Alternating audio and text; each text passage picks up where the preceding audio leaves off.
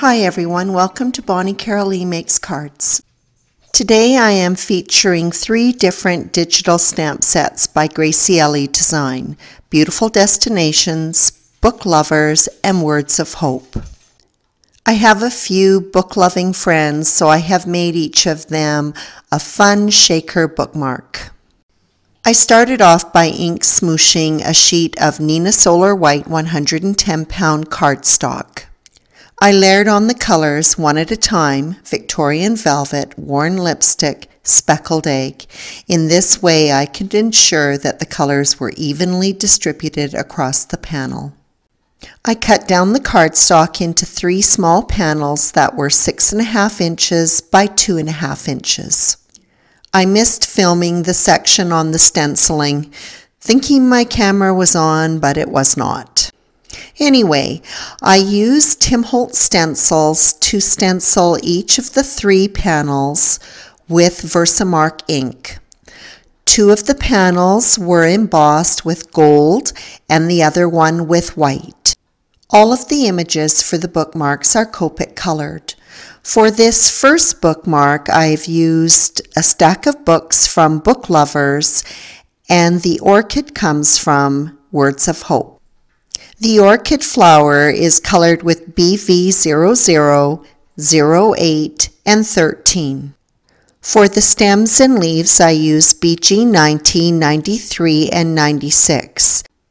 The flower buds are done in the same greens, except I introduce a little bit of lilac, the BV00, for the highlight area. The groupings of colors are repeated throughout all three bookmarks. The books in this image were colored with the same BV tones used in the flower, the RV tones that will be used in the teacup, and the yellow tones that will be used in another book. After I fussy cut this image on the line, I then moved on to the image using the teacup. Both of these images are from the stamp bundle Book Lovers. The pages for all three images were colored with C00, 02, and 05. Because the images are small, the coloring is simple with just a bit of shading and highlighting. I used the same colors for the teacup as I did in a couple of the books, RV 91, 93, 95. When working on a project that includes multiples, whether they be bookmarks like this one or cards, I do like to repeat the colors that I'm using. For me, choosing the colors, which includes the highlight and the deep tone, can be quite time consuming. Repeating the colors lets me just get on with the job of coloring.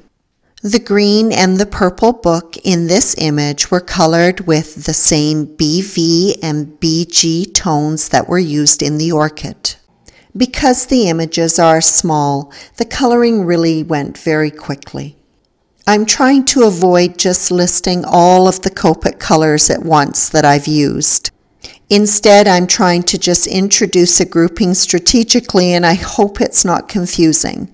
But for this book, I have used Y21, 28, and 32.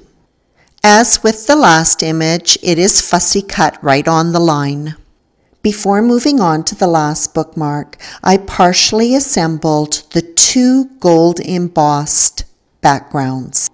These panels were mounted on matte gold cardstock sized 6 and 3 quarter inches by 2 and 3 quarter inches. The sentiments were mounted on blue violet cardstock and then the images were adhered on top of the sentiment. The images for my last bookmark are from Beautiful Destinations and Book Lovers. I took some liberties with these stems of cotton and used the same BV tones that were used in the orchid. The jar was colored with BG 000 and 01. Two of the books in this image were colored with the same blue-violet tones that were used in the orchid. As with all the images, the coloring is very quick and easy. The final book was colored with the RV tones used in the teacup. When fussy cutting this image, I did leave a little bit of white margin area around the cotton stems. The white emboss panel for this bookmark was mounted on Neenah Solar White 110 pound cardstock. The dimensions of this panel were the same as the other two, 6 and 3 quarter inches by 2 and 3 quarter inches. The sentiment was mounted on some lilac cardstock attached to the bookmark and then the image mounted on top. The matte gold cardstock has a white backing. I cut two more of these panels to attach to the back of the gold embossed bookmarks. The shaker for these bookmarks was created using the Fuse tool by We R Memories. I let the fuse heat up for a good 15 to 20 minutes before using it. The pockets were made out of sheet protectors that you can pick up at any stationery store. I have found that when using the fuse you have to find the right speed. If the fuse is moved too quickly, your seam will not be sealed. On the other hand, if you move too slowly, you literally will melt through the plastic. After sealing everything except the top of the bookmark, I trimmed off the excess plastic. I left about an inch and a half of plastic at the top of the bookmark. My shaker mix was put into all three pouches. I sealed the plastic right next to the bookmark. I then sealed the top of the plastic and then created two diagonal lines to create a tab. After trimming off the corners with my scissors, I then punched a hole. I looped several strands of purple and white baker's twine and tied it through the hole and then cut my ends and trimmed it. For the gold embossed bookmarks, I used some lacy gold ribbon.